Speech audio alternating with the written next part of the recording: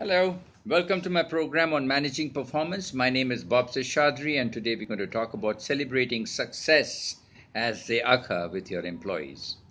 I've noticed praise doesn't come very easily from managers. Some people who consider themselves top notch managers believe it's unnecessary to praise employees and acknowledge their success. They believe the salary is enough and pampering employees is unnecessary. They couldn't be more wrong. Employees take salaries for granted. Human beings like a pat on the back. They like their work to be recognized and their success to be acknowledged and appreciated.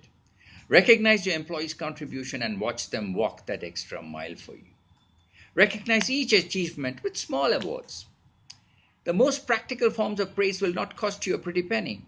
When acknowledging ex- accomplishments with some sort of a tangible reward, use rewards of, of token value, small rewards like a certificate, a gift certificate, a clock, a coffee mug with a message, or any creative gift with a message.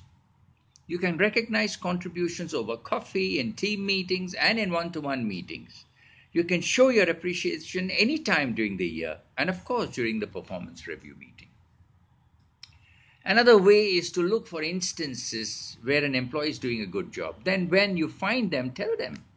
Don't limit recognition to recognition to any time, place, or situation. I used to do it during my walkabouts. I used to go around, and when I used to meet an employee and I saw him doing a great job, I said, "Hey, look, that was good. And the way you did that job was excellent, and uh, we saved a lot of money in that. So well done." Please be sincere, though specific and accurate when you recognize specific, uh, performance. Sincerity is critical.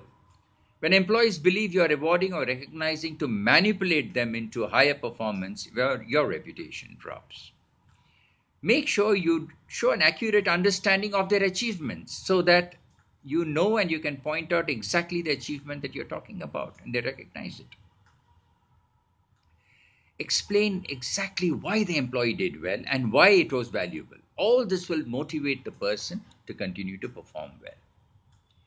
Get out of the office to see what's going on and talk to your staff. Look actively for success rather than problems. When you find an employee doing something good, comment and recognize that and acknowledge that accomplishment on the spot. It's my version of MBA. It's called Managing Business by Walking About. Bye for now.